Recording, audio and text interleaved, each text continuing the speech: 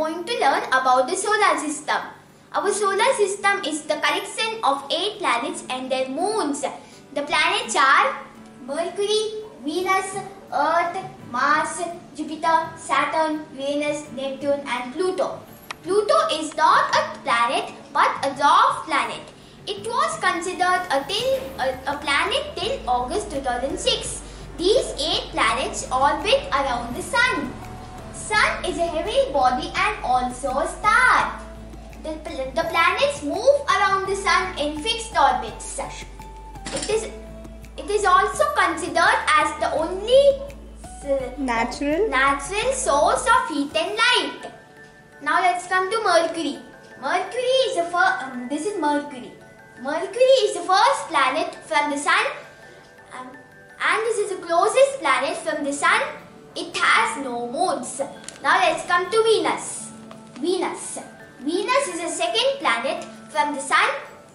Unlike other planets, Venus rotates clockwise. Now let's come to Earth. Earth is the third planet from the Sun. More than 70% of water in it. This planet and um, this planet supports life. Now let's come to Mars. Mars is the fourth planet from the Sun. It is a cold and dusty planet. It is a cold and dusty planet and also known as the red planet. After Mars comes the asteroid belt. It contains, contains many asteroids and dwarf planets in it like Ceres. Now let's come to Jupiter. Jupiter is the fifth planet from the Sun. It, it is popularly known as the giant planet. It is the largest planet in the solar system.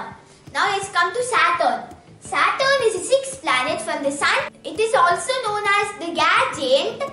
This planet has beautiful rings. Now let's come to Uranus. Uranus. Uranus is a seventh planet from the Sun. It is the fourth heaviest planet in the solar system. It is the only planet that orbits on its side. Now let's come to. Neptune. Neptune